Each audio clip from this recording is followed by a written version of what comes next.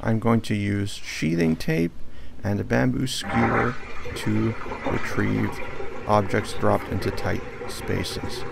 I'm going to open up the sheathing tape, which is a construction material. It's very sticky. And I'm going to take a bamboo skewer and place it halfway along the diameter of the tape. Then I'm going to fold the tape sticky side down together like this. And then I'm going to fold it, it again. The bamboo skewer stays in the middle.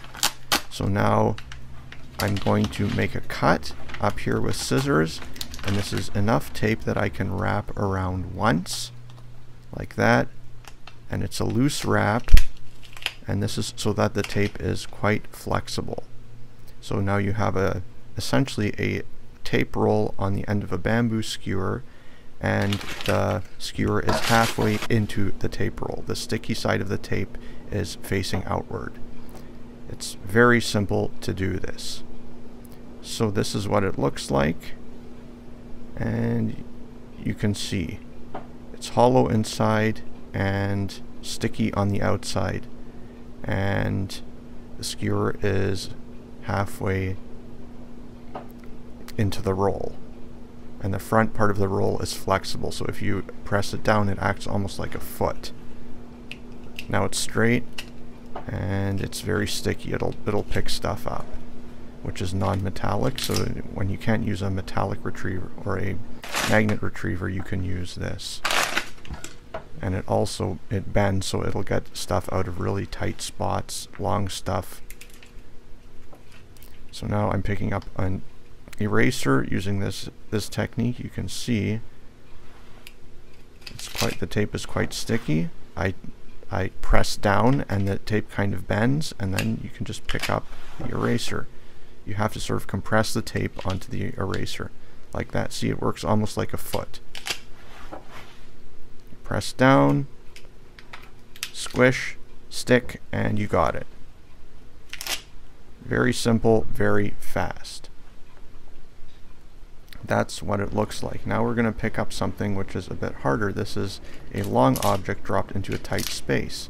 See, it works well as also. I'm pressing down. I want to grab near the front of the long object and then the long object sort of bends and it it lines itself up with a stick which makes it really easy to retrieve out of a tight sp spot. See, if, if I would grab it in the middle, I couldn't get it out of the tight spot. But if I grab it on the end, like this, like a foot, I press down, squish, and then it folds straight and it'll come right out of the tight spot. Again, press down, squish, stick, and it comes out of the tight spot. It's very easy to do this. And it's a really simple technique, which is, it's nice to know how to do it, in case you drop something and, and you need to get it back. Can grab it from the side to squish on the front of the stick and then retrieve it.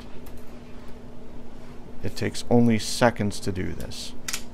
Foot grabs it and you're ready to go. See, it's nice and stuck.